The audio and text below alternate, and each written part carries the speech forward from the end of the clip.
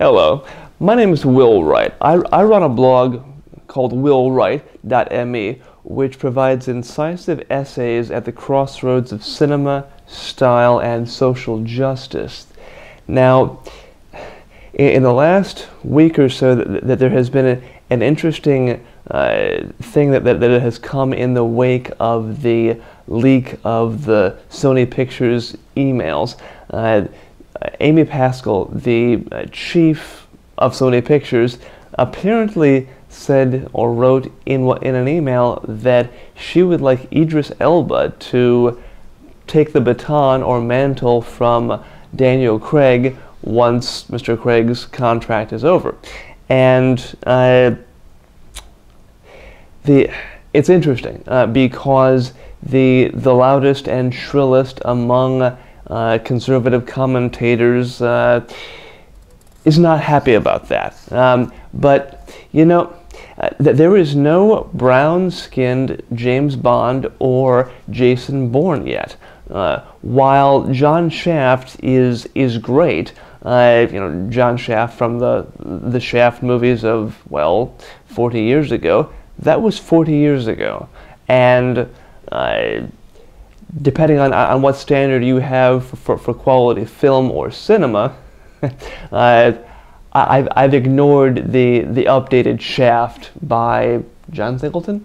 Uh, now, th there was an interesting uh, quotation from uh, Junot Diaz, the Pulitzer Prize winning Dominican American author, when, when it comes to uh, the, the connection between cultural identity and media power.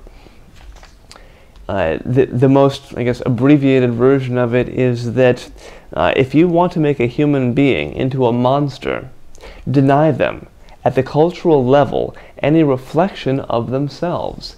Uh, again, there is a, a longer, more fulsome, and uh, more memorable version of this, but uh, it raises, the, it raises a fantastic question. I mean, why do brown-skinned heroes make white people panic or nervous?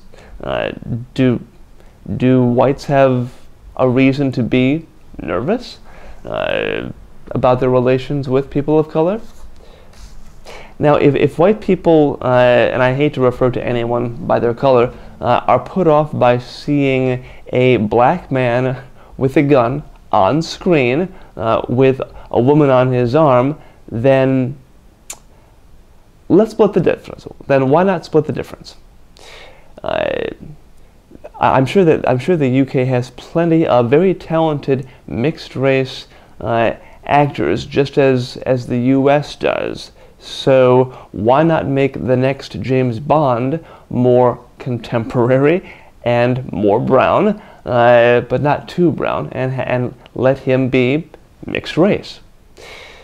I mean, really, uh, children of color and people of color in general need and deserve to see themselves on screen as heroes. So that's my piece. Again, I, if, if you enjoy seeing incisive essays, particularly those at the crossroads of cinema, style, and social justice, then go to willwright.me and thank you for your time.